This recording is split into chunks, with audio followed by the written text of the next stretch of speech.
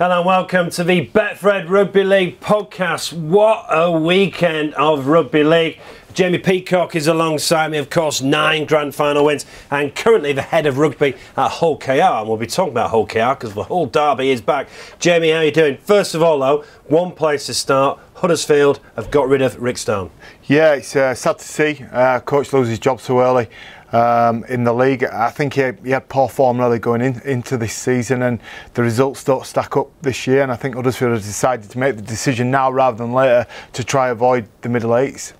Uh, just two wins out of seven, but as, as you alluded to, last season inconsistent as well. Yeah, it was inconsistent, and I tell you what, uh, being in and, in and around the game, you hear a lot of rumours about the players being unhappy, the players having unrest with his style of coaching. Now, if that's the case, and that's one of the reasons why he's he's left the club and, and the board have decided to leave him, well, those players need to stand up now and show and make sure it was the right decision.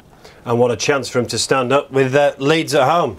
Yeah, typically they play well against Leeds. Um, I know from my time playing at Leeds that, that, Huddersfield used to raise the game for that, and, and now is the time for them to stand up. If the rumours are right, as one of the reasons why Rick has gone has been player power, then those players need to uh, stand up in this Easter game. Tell us about the Easter weekend then plenty of people be watching this right now don't know how important and how big the Easter weekend is to rugby league. Yeah, it's huge. It's huge as uh, rugby league play. It's huge as a rugby league community. You, you, the players get to play twice in um, four days, and also you do play three games in eight days, so it's a chance to collect six points and make a real difference in the league. And at the moment, the league's really tight from you know, second to bottom to second to the top. There's not much difference in points, but coming eight days' time when three games will have been played, there'll be a big difference. As a player, it's brutal brutal. There's no there's no getting away from it. It's really difficult to be involved in. The first game is always a derby or an emotionally intense game. Four days later, you've got to pick yourself up. Uh, three days later, in most cases, you've got to pick yourself up and get ready to play again. Uh, and trust me, when you when you turn up at the ground to play on Monday, you are still sore. But the best players have the best attitude and just think, look, let's get on with it. We're all feeling this way. Let's go out there and win the game. I know it's a squad game to an extent, but plenty of the players will be playing on a Friday and then playing again on Easter Monday. How do you do that in this what is a proper contact physical sport. Yeah, I mean, look, I, I, think if you're a spectator watching, applaud the skill on a Friday and explore, uh, applaud the mental toughness of the guys on the Monday because it really is difficult. I know from my time, I just used to try live in an ice bath for three days, then pull myself out of the ice bath and get ready to play on the on the on the Monday. And once you get a little bit warmed up in the warm up, uh, mind over matter and just conquer it and get through it. And then obviously the game after that is also difficult because you play again in another four or five days' time. Well, round eight is about local rivalries, and Thursday night it's Wakefield versus Castleford, which is a huge game.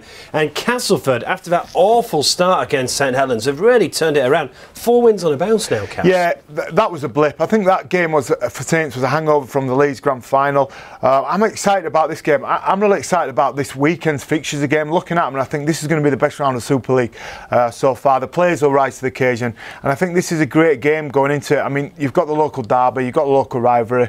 Wakefield, I think, need to beat a team who aren't in the bottom four. I think they're well capable of doing it. They've got a big set of forwards, they're well coached, they move the ball around well. But you say the same about Castleford, they're excellently coached, they move the ball around really well, and they've got one of the best players in the competition in Luke Gale.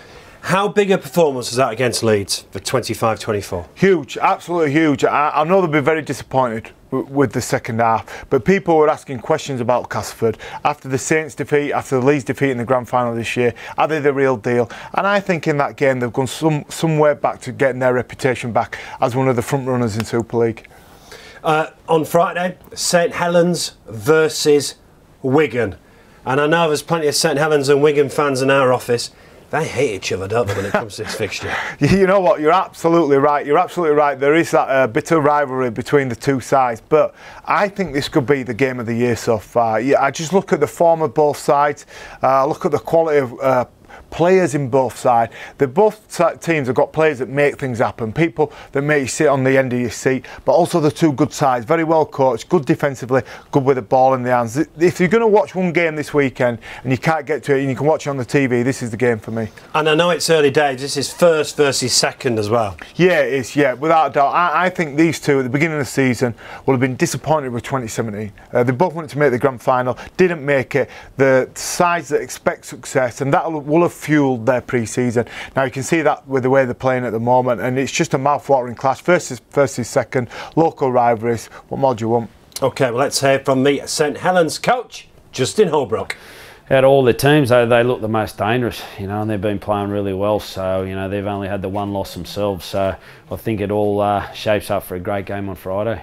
Look, we just prepare uh, as we normally do every other week for that game, and then, as you said, we'll only have two days to, to prepare for our next one against Widnes. But I think all you can do, and then we play again the following Friday. So all you can do is, is like you would any other week, one game at a time. So we'll prepare best we can for, for Wigan on Friday, and and then uh, have a short turnaround to play Widnes. Saints coach Justin Holbrook talking to Betfred TV. Prediction then for Saints. You've said it's going to be the game of the season so far, but prediction.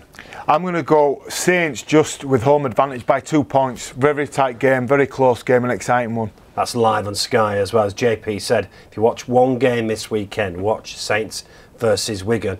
Fingers crossed it'll be an absolute cracker. Uh, kicking off at midday on Friday, Salford versus Catalan. Salford be gutted for that last 10 minutes against Widnes. Yeah, well, they, they, they fell away. It's a game they should have won. Um, they've got particularly poor away form, and that would have stopped that. They'd have got the W back in the category in, in the away form. They know they can win. They know they can um, win at home. They've been good at home. It's a difficult place for people to go play. So I, I fancy them in this game. And uh, on uh, Friday afternoon, live on Sky as well, 12.50 kickoff. The Hull Derby is back, and you're the uh, head of rugby at Hull KR. Are you ready for it? I think the players and is the city ready? The city's more than ready. Trust me. Uh, I didn't realise how big this game was until I moved, um, you know, to be head of rugby in Hull, uh, Hull KR, and it's just huge in the city. It is a big rivalry. Okay, we played each other a couple of times in friendlies, but this counts for real. Everyone's talking about it in the city. We're ready to play. I'm sure FC are ready to play as well, and it's fantastic that this game's back on the Super League calendar. Uh, you've won two so far this season. Performances at times have been better than that. Can you get something against a bit of rivals then? Yeah, we certainly believe we can. We, we know we're up against a good side. There's no doubt about that. FC are a good side, but we believe our best performance, you see what we can do. And if we bring our A game, there's definitely every chance of us winning it. I've been in and around training this week. The lads look like they're in a good mood, look relaxed, focused, and, and ready to play well. A few injuries though. Yeah, we've had some head knocks. We've had some head knocks. You know, obviously, uh, George Lawler um, suffered a horrific injury at the weekend. His, op- his operation has come out of that okay, and we're just waiting on people to come through the head tests at the weekend. I mean, it was like a battlefield um, in the dressing room after the game against St Helens, but we managed to get a couple of players back, so I think we'll be good come Friday. Uh, we've touched on Huddersfield already. They entertain Leeds. I mean, what a game to get the Huddersfield players up for. Yeah, I think I'm going to go with. Look, I'm a, I'm a Leeds lad, and I think Leeds have been performing very well this year. Um, certainly the last two games, you know, beat St only just lost to Castleford, but I think this third game's one game too far for them. I think the Huddersfield Giants players at home in this fixture will raise up, and I, I think you'll see the underdog win this day against the Rhinos. And finally, one game we've not spoken about. Uh, Warrington just beginning to turn things around a bit now, aren't they? They've won four, entertained Widnes. And again, I think Widnes uh, have been a little unlucky in a couple of their games. Yeah, you could say that about both sides. I'd agree with you. I think if we go right back to round one, Warrington weren't that far off against Leeds. Ryan Atkins scores in the corner. Um, I think they go on and win that game, and I think they've steadily improved under Price. And what you've got to remember, it's not just 13 new players they've got, they've got all new backroom staff. It's going to take time to gel, and you can have all the pre season you want. You need to be out there playing to really fix anything up. And I think Widnes have been good. Widnes have been good value for money this year. They're well coached by Dennis Betts, and I see this game being another real tight game, but I think home advantage is key in derbies, and Warrington will win this one. Okay, well, let's hear from the Warrington coach, Steve Price. Yeah, they got a, you know they got a, a big roster. Um, you know they got a great captain in Chris Houston who, you know, sets really good standards. And having been involved in Chris, I know what type of player he is. So, um, you know, they got a really good uh, halfback in Joe Mellor who's doing a really good job for them. Um, they got a you know really a tidy edge back row, and also too they've got you know some good attacking flair, especially around uh, you know there's centre combination. So it's important that um, you know defensively going to have to be really sound and a, and a big improvement uh, from last weekend's game. Steve Price talking to Betfred TV there. Uh, very quickly, fancy Warrington win then? Yeah, I think Warrington can just edge this game. I think home advantage is important in derbies, and they've got the home advantage. Come on, then, sell the Betfred Super League to me this Easter weekend. Well, I think you're going to you got a chance of seeing your team play twice in the space of three days. You're going to see some local derbies. You're going to see some passion on show, and you're also going to see some of the best athletes, I believe, in the world of sport, and also some of the toughest, mentally toughest athletes in the world of sport. So get out there, enjoy the sun, and watch a couple of games this weekend. Yeah, there we are. And if you are having a bet, please keep it fun and gamble responsibly. Thanks so much to Jamie Peacock. Enjoy the Betfred Super League. Two games over Easter. Fingers crossed we'll have some crackers.